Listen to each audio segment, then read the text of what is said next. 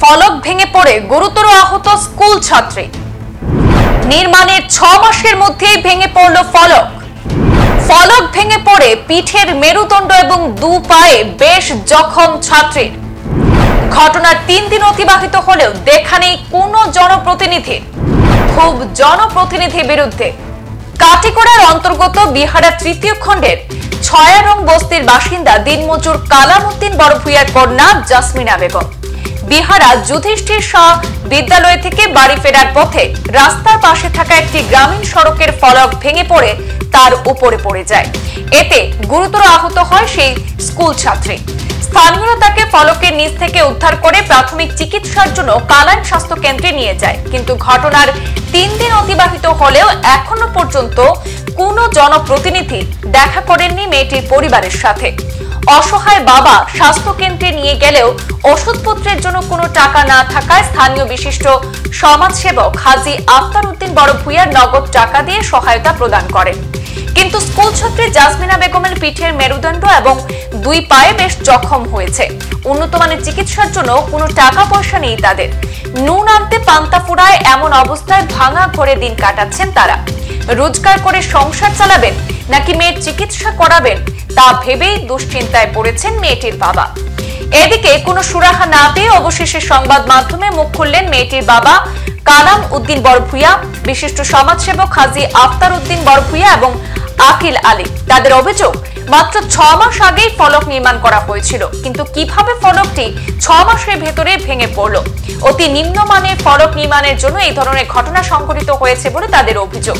প্রশ্ন হচ্ছে এত নিম্নমানের কাজে কে বা কারা জড়িত রয়েছেন? বা কার তত্ত্বাবধানে এইসব ফলক নির্মাণ করা হয়েছে? কালাইন ব্লকের বিডিও সহ আধিকারিকরা কি ব্যবস্থা গ্রহণ করবেন? সেটাই এখন বড় প্রশ্ন। কালাইন ব্লক আধিকারিকরা সরজমিনে এসে তদন্ত করে যদি বিহিত ব্যবস্থা গ্রহণ না করেন, তাহলে আইনের দ্বারস্থ হতে বাধ্য হবেন বলে হুঁশিয়ারি দেন গ্রামবাসীরা। তো হঠাৎ দেখি একটা বাইকে লইয়া ও ও যে ঘটনা হয়েছে পিছনে বয় তারা লইয়া গেছে। তখন আমার ও তার মেয়ের মায়া আমার এখন যে ভাই ও একটু লামাও না। আমি ভাবছি যে এটা মনে হয় জরুর নাকি জানি। এরপরে লামাইলাম লামানি পরে আমি গেলাম দুবাই তো পারে না। এরপরে তো ডাক্তার দেখাইয়া ডাক্তারে কিছু ওষুধ দিছে। দিয়া কইছে এটা তো আমার দ্বারা সম্ভব নয় তুমি তাই ইয়ে করো ওই বড় ডাক্তার দেখাও। আচ্ছা বড় ডাক্তার দেখাইতে গিয়া, খালাইন গেছেন খালাইন গিয়া এটা তো নির্ভয় মানুষ কোনো পয়সা করে নাই। তখন আমরা আজি সাহেব আসলা আজি সাহেব হঠাৎ তানো দিনেরও বালা সানডে ভাবায় চাইন নিয়া আমরা বা এই রুগীটারে টাকা পয়সা দিয়া আর কোনো রকম কুলাই এটা আনছে না মেম্বার আইছিল সকালে তার বাড়িতে আমি তো দেখছি না, আমি খবর পাইছি।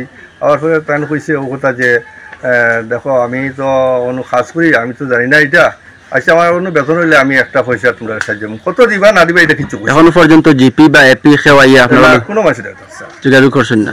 কি একটা বাচ্চা পরীক্ষা দিয়া ছোট বাচ্চা নয় তাই দশ বছর হইব বয়স। জাসমিনা বেগম তাই নাম। আইতে সময় অন ওয়ালর সাইটে দিয়ে আইছে বোধহয় আইতে সময় মানে সরকারি কাজের একটা সাইনবোর্ড বানানি হয়েছে তাই ধরো বছর মনে হয়ে গেছে সাইনবোর্ড বানানি যারা কাজ করছে আর কি এটা মোটামুটি খুব নিম্নস্তলের কাজ করছে। এর লাগি দুর্ঘটনাটা হয়েছে বাচ্চাটা মোটামুটি অসহায় একদম। খালাইন স্টেটমেন্ট নেওয়া করছে কি হয়েছে আইতে সময় আইতে সময় ওয়াল ফড়িয়া আর বাচ্চাটা নিচে পড়ে গেছে গিয়া। এগুলো সমর আর ফিটুর মেরুদণ্ড বলে ভাঙ্গি গেছে গিয়া। ডাক্তারি রিপোর্টে আর কি। তে আমি আমার তরফ থেকে মানে আমার জেডপিসি পথসভা পঞ্চায়েত আর ব্লকের বিডিও সাইডে আমি দৃষ্টি আকর্ষণ করে খুঁজিয়া ও বাচ্চাটার চিকিৎসার লাগিয়া আপনারা তোরা একটু ইয়ে করবা পর্যন্ত লাগিয়া আপনারা তদন্ত করে দেখবা যে অত নিম্নস্থলের কাজ খেয়ে খুঁজিয়া এই দুর্ঘটনা ঘটলো। দুর্ঘটনার পরে আপনারা তার লগে সহযোগিতা করছিলেন? হ্যাঁ আমি তারা খালাইন পাইছি পাওয়ার পরে অসহায় তারা এক্সট্রা এক্সট্রা করছে করার পরে তারা পয়সা দিতে পারছে না। আমার পকেট থেকে আমি সাহায্য হিসাবে তিন হাজার টাকা দিয়ে তারা ছুটাই আনছে। সংবাদ এই পর্যন্তই ফিরছি পরবর্তী অন্যান্য আপডেট নিয়ে। ধন্যবাদ।